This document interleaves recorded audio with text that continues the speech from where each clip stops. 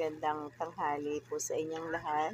Nandito po ako ngayon sa ating school para po sa ating house classes.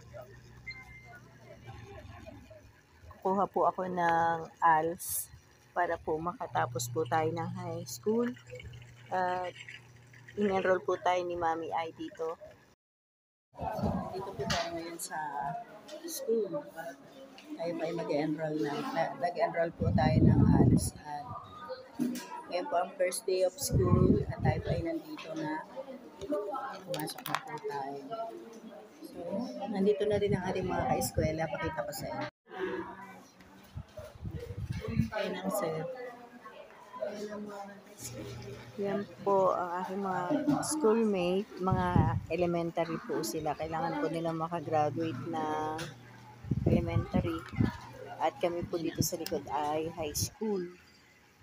So, ayan. Mga ka-eskwela po yun, mga batang bata. Di pa po sila nakatapos ng elementary, grade 6. Ayan po ang Sabi ko nga, dapat ako si MJ na nag-aabot ng ng gastos ni tita, ni nanay. Gusto niya na sarili niya. Na. Kaya nagtitinda. Sabi nga po, wala pa daw siya pambili ng uniform. Kasi ano, wala. Ano, namin naman nila na ano dito, na ayos sa Bensan. Ayos din naman yung mga estudyante nito. Eh, Eh, ayaw din pala daw siya pala. Sabi ko, wala po talaga kahit na mabuti po baka ako, nag-alala naman kayo sa akin, wala naman ako. Ano? eh, sabi niya ko din.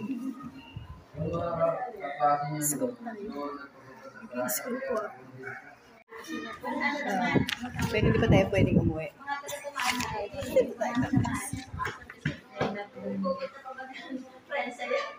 Ito ang ating pinag-aralan today.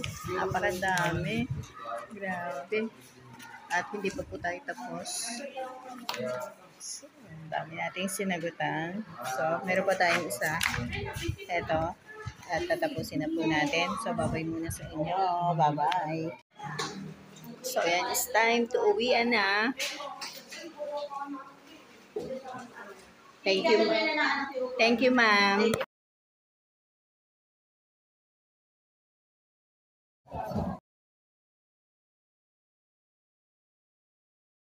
Yan, pauwi na tayo at alas 12 na ng tanghali. At nako, wala tayong nasagutan. Nako. Hindi natin nasagutan lahat. Ang init. So,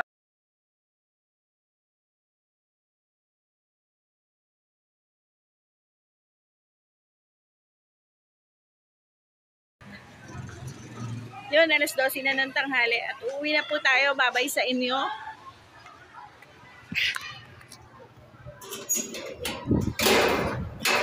Ano ba? Hindi ako makalabas. Ay, baliktad ko. Sige nga anak. Paano ba? Ayun. Thank you. Tubigan mo! So, ayun. Na tayo.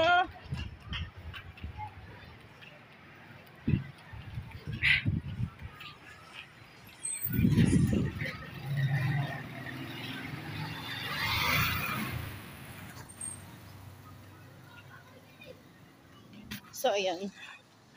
Babay na sa inyo.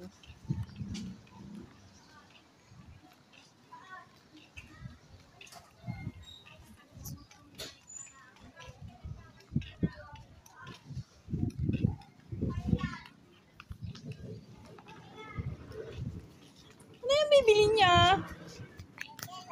Yeah. So, ayun, dito na tayo sa amin. At sinaing lang ang naluto natin kanina at ngayon lang tayo nagluluto. Dahil vlogger ako, nakunan ko kayong tatlo. Hindi ako nakasigaw.